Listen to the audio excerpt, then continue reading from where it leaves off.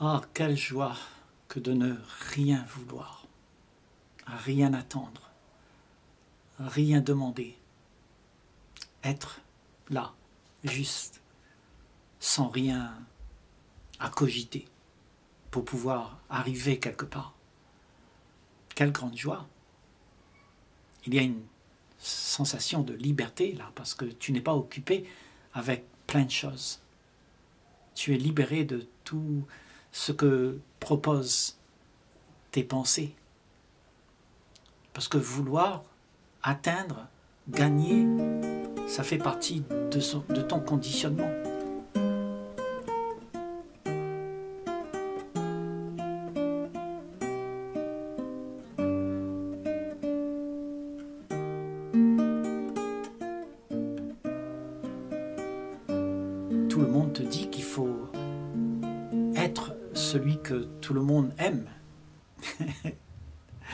Réussir, avoir de l'argent et de bonne humeur, et puis euh, avoir de la notoriété, se montrer quoi.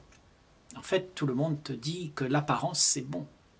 Montre ce que le monde veut voir, mais ne montre pas ce que tu es vraiment. Parce que toi, ce que tu es, tu es misérable. Tu ne sais pas être joyeux tu es dans la tristesse.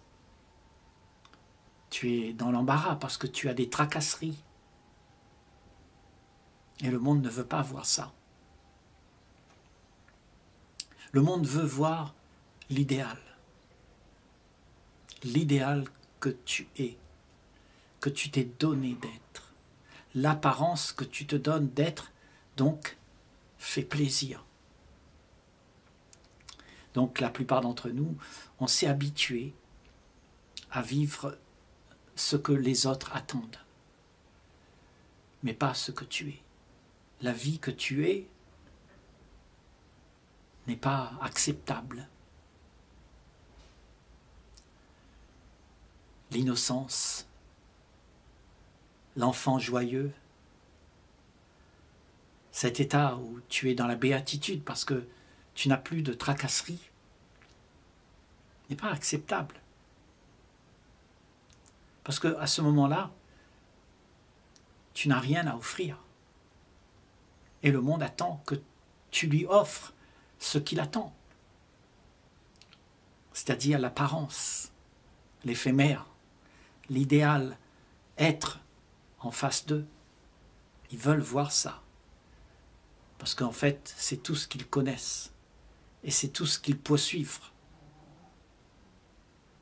Donc, tu es victime de tous ces êtres humains qui attendent, parce que tu vas devoir leur faire plaisir, parce que c'est ce qu'ils demandent.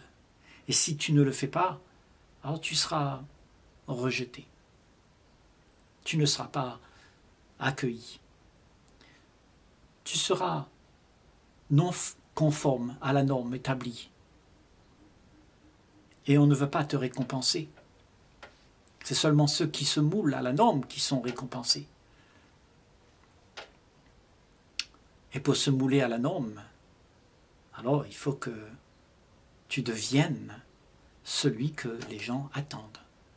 C'est-à-dire tu te moules à l'apparence que ce que le monde attend. En fait, tu es pas vrai. Tu es faux. Et dans cette fausseté-là, tous tes problèmes commencent. Parce que il y a un mal-être qui est là. Parce que ton être naturel, ce que tu es pour de vrai, n'est jamais là. Tu le caches. Tu caches ce que les gens ne veulent pas voir. Et tu montres une apparence de toi. En fait, tu fais semblant, tu te fais une image. Et cette image, c'est ce que tu prônes.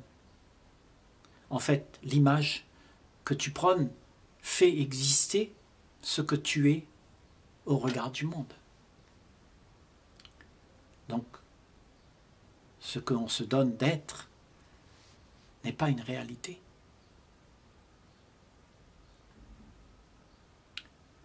Et toute notre vie, on se casse la tête comme ça, à ne pas faire ce que les autres seront contrariés. On ne veut pas contrarier. On fait tout le temps des choses qui plaisent.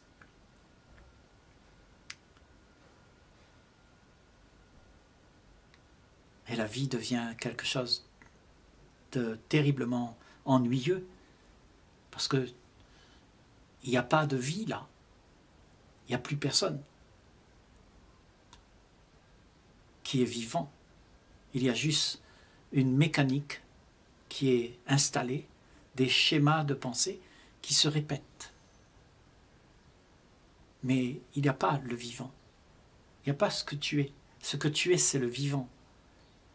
C'est la vie. Et quand tu laisses ça être, il y a de la joie.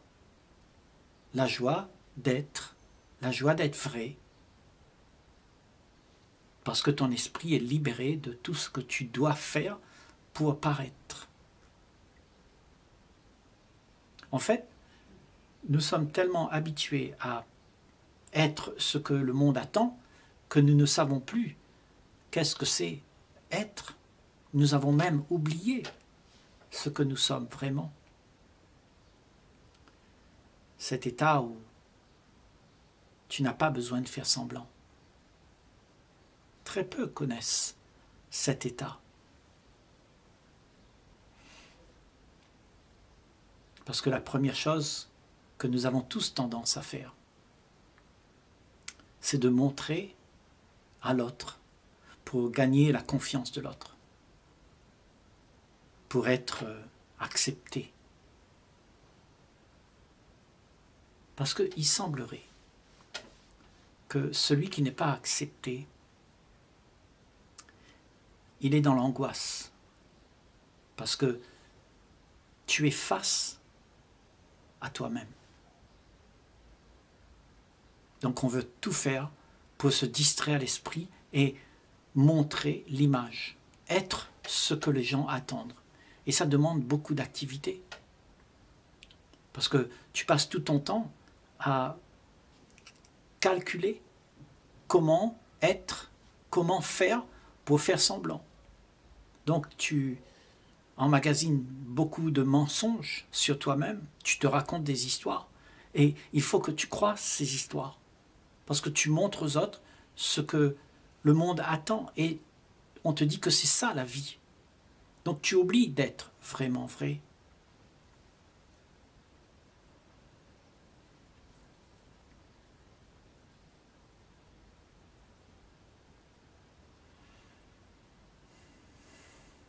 et à toujours vouloir faire ça, eh bien on tombe dans la déchéance de nos propres activités.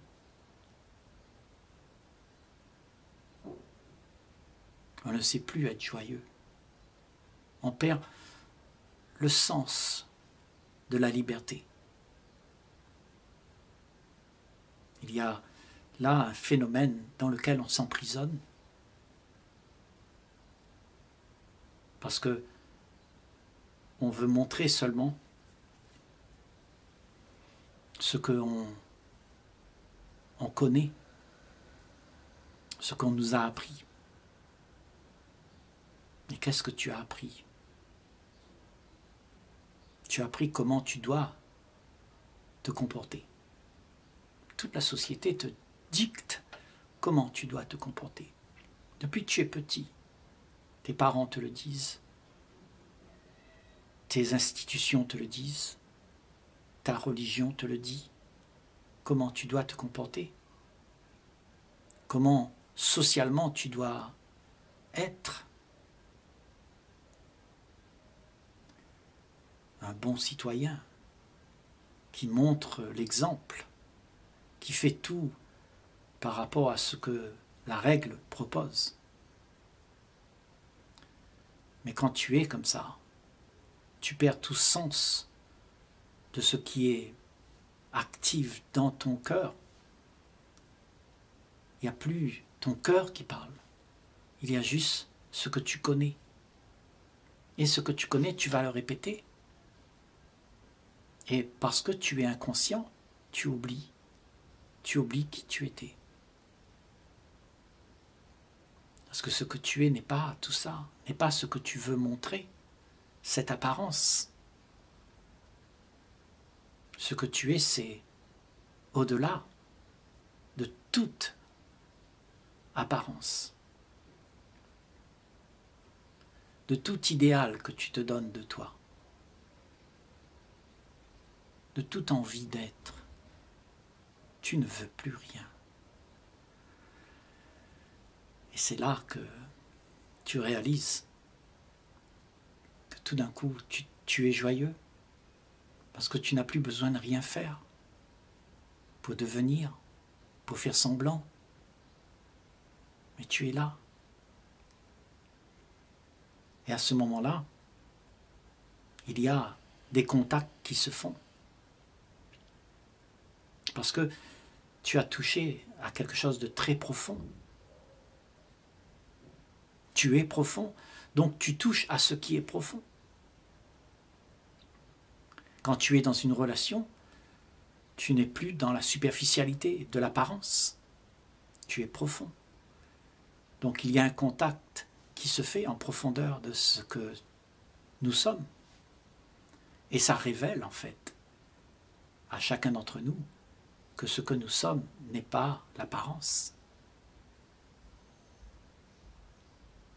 Donc, cette joie que tu as, cette facilité de t'extirper de tes tracasseries,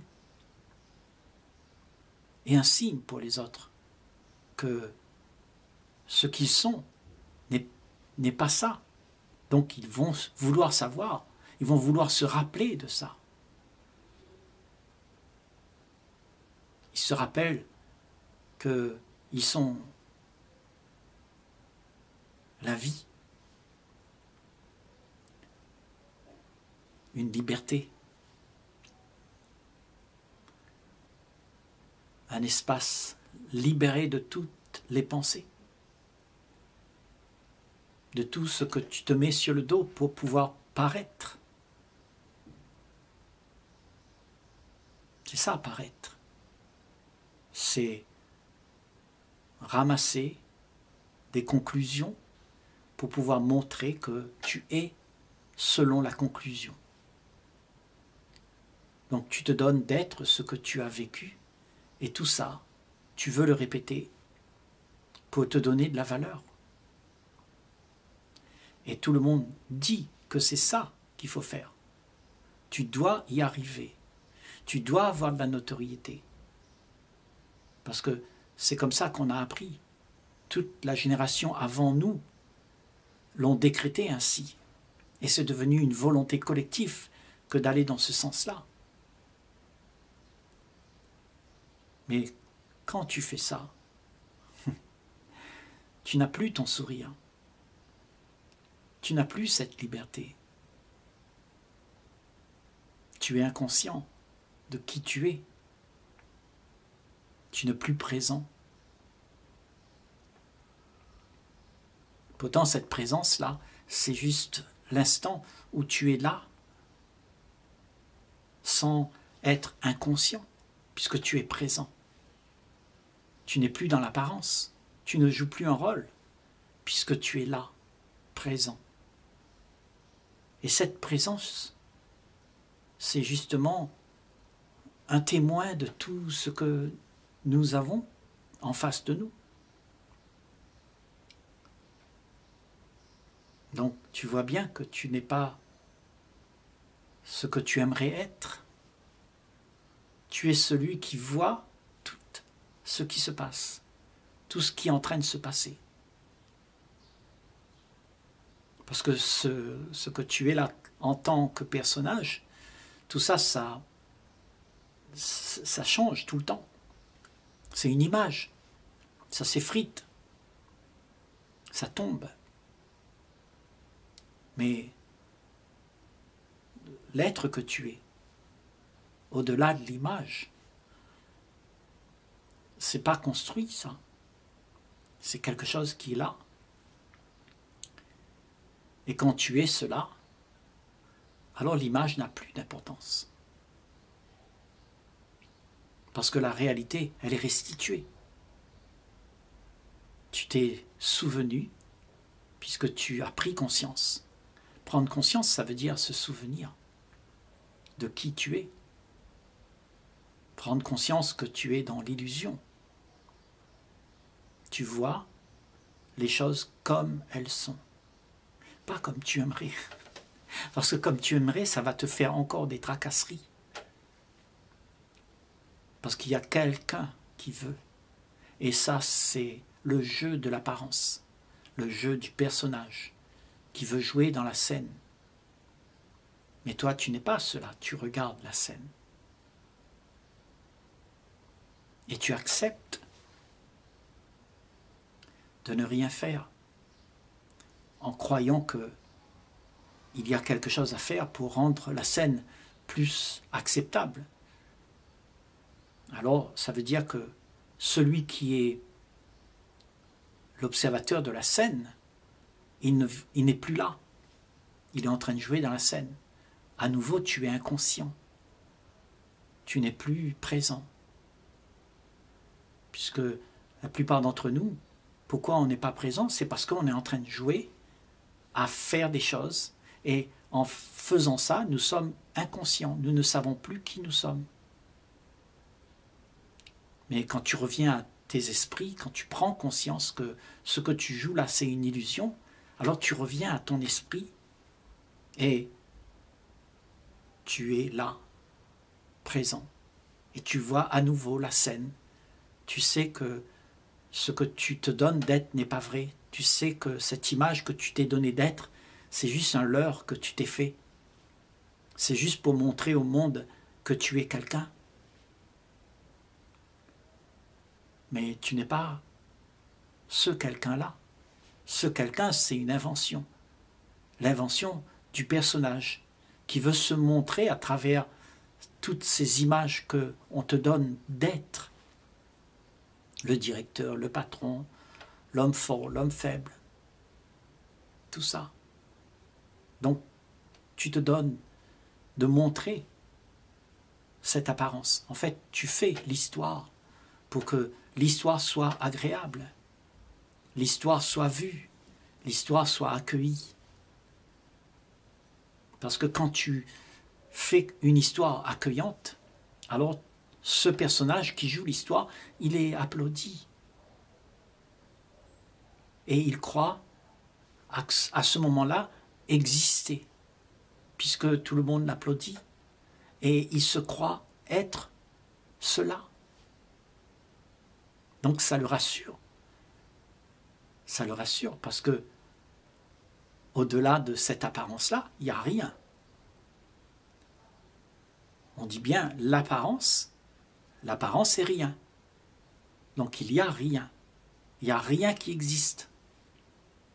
Au-delà de l'apparence, il n'y a rien. Il y a juste une présence. Ce rien est la présence qui regarde tout, qui voit tout. Et cette vision n'est à personne, elle n'appartient pas à personne. C'est juste, il y a la perception. Rien est la perception du tout. Et cette perception, elle est très intelligente parce qu'elle sait qu'est-ce qui se passe.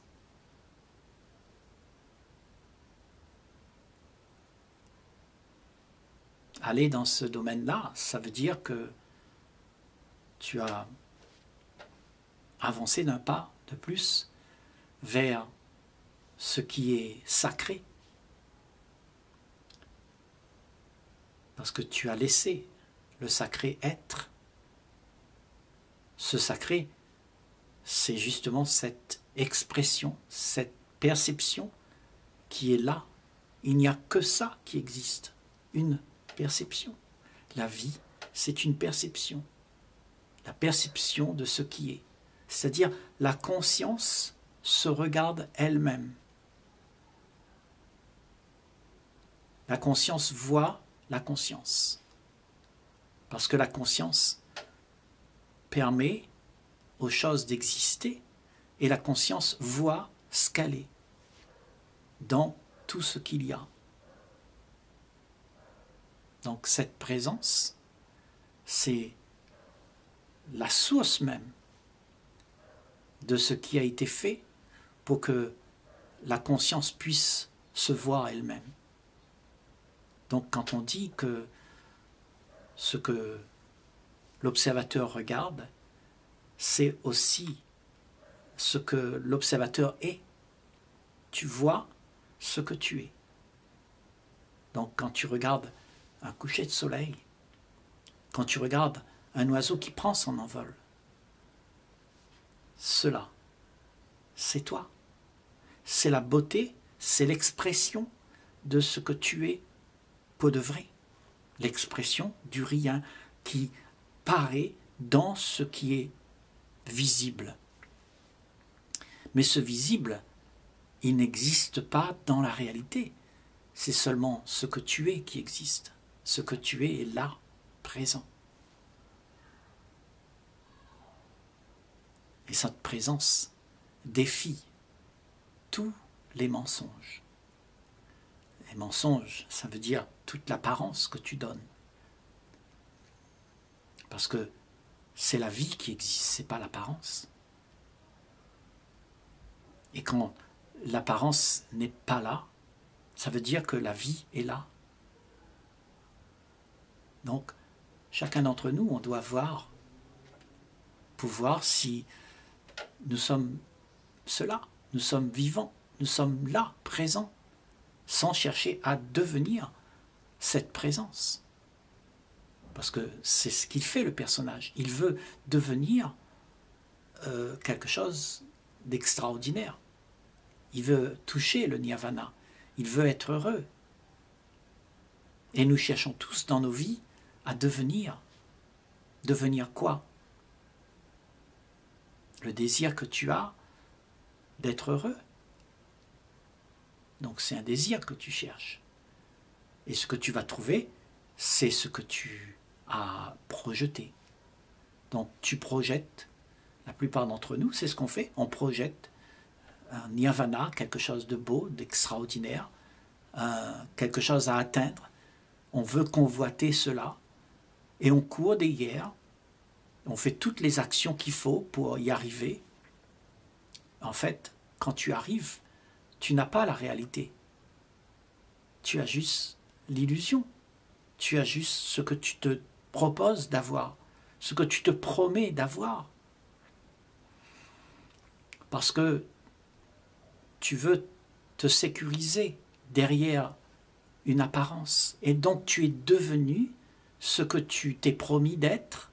Et en fait, tu crois que tu es quelqu'un. Et là est tout la subtilité de notre vie. C'est de croire à ce qui n'est pas vrai. Et quand tu prends conscience, ça veut dire que tu te réveilles et que tu t'aperçois que tu avais oublié ce que tu étais pour de vrai.